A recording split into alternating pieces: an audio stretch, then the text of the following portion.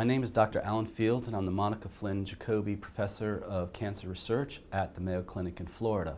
I'm here to talk to you today about a study that is being published in Cancer Cell. Um, this study is entitled uh, Two Oncogenes, Protein Kinase C iota and SOX2, coordinate to drive lung squamous cell carcinoma.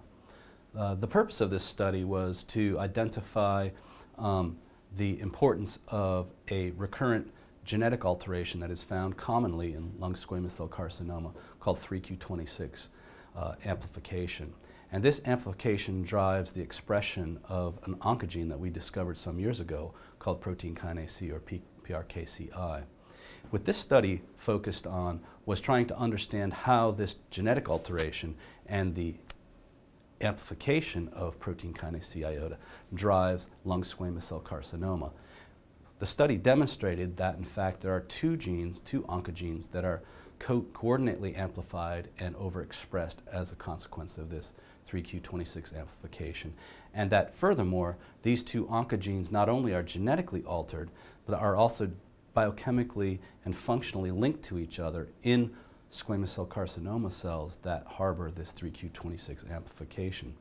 So the study demonstrated that, in fact, these two genes coordinate with each other to activate a third pathway called the hedgehog pathway, which is involved in um, maintaining a stem-like phenotype within these lung squamous cell carcinoma tumors. Cancer stem cells are thought to be the cells within a tumor that are responsible for both the initiation of the tumor, the maintenance of the tumor itself, as well as progression and things like metastasis, and more importantly, relapse after therapy.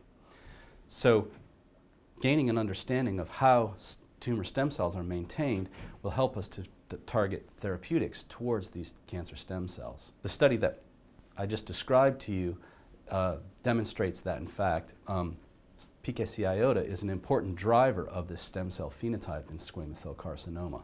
So what does that mean? Well, in the future, what we'd like to ask, since this 3Q26 amplification is not only commonly found in squamous cell carcinoma of the lung, but many other solid tumors such as head and neck cancers, ovarian cancers, breast cancers, we want to know whether this same 3Q26 amplification is driving the same pathway in these major tumors as well.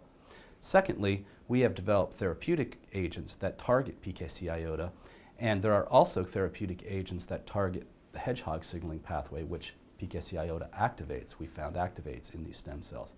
So this leads to a possible therapeutic um, opportunity in which we can combine therapy to PKC iota and to this hedgehog signaling pathway, which we hope will provide more effective um, responses in squamous cell carcinoma patients.